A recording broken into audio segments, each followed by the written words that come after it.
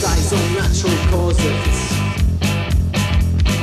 Car run off the freeway, smashed against the wall. Can't run away to the NYT, I'm about to spill it all.